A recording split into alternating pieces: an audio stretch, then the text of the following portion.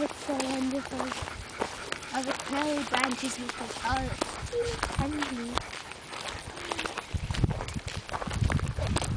But it's too bad though, our deer that huge, that huge looking willow